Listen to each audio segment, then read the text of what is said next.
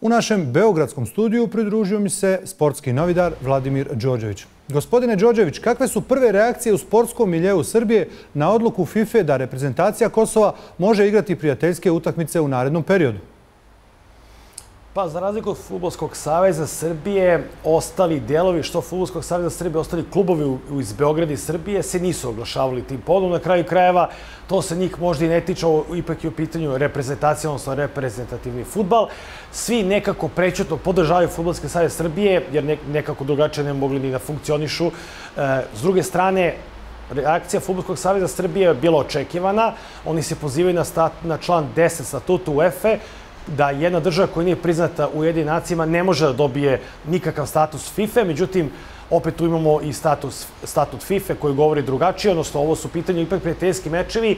Ovo jeste jedan korak za Futbolski savjez Kosovo, međutim, taj korak, meni se bar tako čini, i s nekim kolegama s kojima sam danas razgovarao, nešto ne ugrožava bitnije ni Futbolski savjez Srbije, ni futbol u Srbiji. Šta mislite koji će biti prvi koraci Futbolskog saveza Srbije već ovih dana na kongresu u Budimpešti? Pa već je najavljeno da će sutra predsjednik Futbolskog saveza Srbije, gospodin Tomislav Karadžić i generalni sekretar saveza, gospodin Zoran Laković, razgovarati prvo sa Mišel Platinijom, pa onda i sa samim gospodinom Blaterom. Ne trebamo da zaboravite, Futbolski savez Srbije ima jednu veliku prednost odnosno Futbolski savez Kosova, pa čak i odnosno na druge futbolske saveze bivše Jugoslavije. Naime, Futbolski savez Srbije na čelu sa Tomislavom Karadžićem prvi je svoje vremeno podržao Mišela Platinija. To je podrška bez koje se de facto ne može ništa uraditi u evropskom futbalu. S druge strane, oni imaju taj uslovno rečeno kec u rukavu, član 10 statutu EFE vrlo jasan je dvosmislen, dok ujedine nacije ne priznaju Kosovo ili bilo koju državu, te prijateljske utakmice će, se igrati recimo kao što igra reprezentacija Baskije ili recimo Katalonije ili možda čak Republike Srpske, pošto danas sam čuo da čak postoji mogućnost da Republika Srpska zatraži isti status koji ima Futbolski savez Kosova. Tako da to ćemo vidjet ćemo sutra i preksutra šta će se dešavati u Budimpešti. Ja mislim da će u ovom slučaju Futbolski savez Srbije sa sigurno izvaveti pobedu, kakvu takvu pobedu, odnosno da Kosovo neće moći dalje, bar u narednih godinu, dve, da bude priznata u EFI, a možda čak ni, ni više toga. To je, dakle, ipak prvo prvenstvo političko pitanje. Ako Kosovo bude priznato u UN-u, onda će dalje biti koraci i UEFA i FIFA u tom pravcu. Može li ova odluka FIFA dovesti do toga da Kosovo još u nekim sportovima dobije pravo samostalnog nastupa? Slično je već u rukometu gdje klubovi igraju Eurokupove.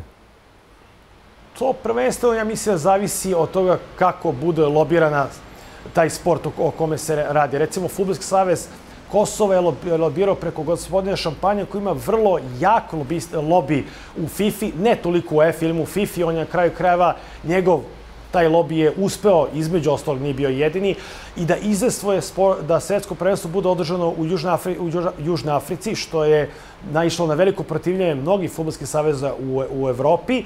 S druge strane, on, oni u UEFA nisu toliko jaki, bar ne da ja znam i bar s nekim s kojim sam razgovarao iz UEFA, mi kažu da Futbolski savjez Kosovo nema toliko činu. Opet što se tiče drugih sporta, rukomet je tu vrlo jasan pokazatelj da ako imate jak lobby kao što ima rukometni savjez Kosova, možete raditi mnogo toga. Košarkaški savjez Kosova, koliko ja znam, jedva i da postoji. Za ostale sportove zaista ne znam, ali ukoliko imate jak lobby u bilo kom savezu, u bilo kom sportu reč, bar ovakve stvari sigurno za početak možete da izazvojete. I samo na kraju da kažem da ovo jeste prvi korak Pre dve godine Futbolski savez Kosova pokušao, ako se sećate, da izvestvoje da klubovi iz Kosova učestvuju u EFINI takmičenja za početak Lige Evrope, zbog toga što je Kosovo jako slabo rangirano, nije uspelo. Ovog puta su išli drugačijim tokom preko FIFA.